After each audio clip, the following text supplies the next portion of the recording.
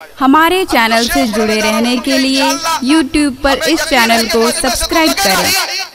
Stage से भी कोई नारा लगाएगा इंशाल्लाह क्योंकि शेर ही ऐसा है हकीकत का इंकशाफ होने वाला है। देखें साहब।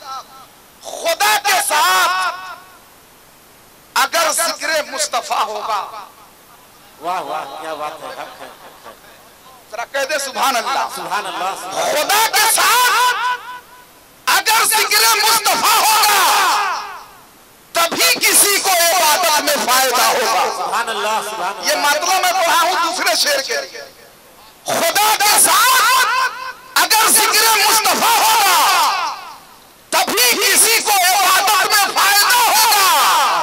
अकीदा नेक तुम्हारा है या हमारा है चलो रजा की अदालत में फैसला होगा।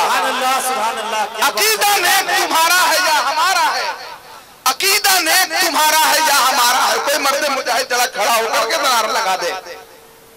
अरे माशा। माशा। अल्लाहु अकबर। या रसूल अल्लाह जिंदाबाद। जिंदाबाद। अल्लाहु अकबर। अल्लाहु अकबर। या रसूल अल्लाह सुभान जिंदाबाद। यहाँ तो नौजवान लोग मचल रहे हैं। जो जिम्मेदार लोग हैं वो तो खामोश बैठे हैं। अच्छा हर जलसे में मिलाद में अभी नौजवान तबका जो गैर शादीशुदा है जिनकी अभी शादी नहीं है वो ज़्यादा बोल रहा है। हाँ, ना, जब किसी का रिश्ता तय होता है ना तो लगता है कि एमएलए का टिकट मिल गया। और जब लोग लड़की देखने जाते हैं तो ऐसा लगता है कि प्रचार प्रसार की धूम मची और जब दुल्हा बनता है तो लगता है कि चुनाव हम दस हज़ार से जीत के सर्टिफिकेट लेके आ गए और जब रुखसती के बाद दुल्हन लेके आता है तो ऐसा लगता है कि कोई मंत्री बन करके कोई विभाग मिल गया। लेकिन एक साल के बाद लगता है कि कोई घोटाला करके हम फंस गए। समझे? ये सब चीज़ है आप हजरात को सोचना पड़ेगा। खामोश रह के मत सुनिए बोल करके सुनिए।